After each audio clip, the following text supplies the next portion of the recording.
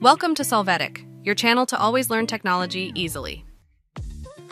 Below in the description, you will find useful links we used in this video.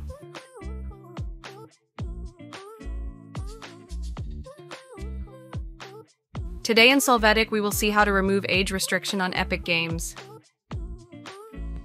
To start, open the Epic Games app. When doing so, click on your username and click on Account. When the browser opens with our profile, click on the Parental Controls section. You are going to enter your account PIN and click Confirm. Now at the bottom in Epic Games Store, you can assign the age as you consider necessary. Each age range will request the PIN or not.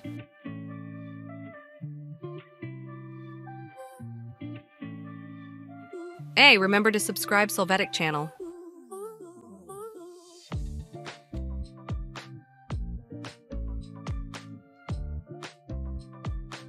We hope it has been helpful for you.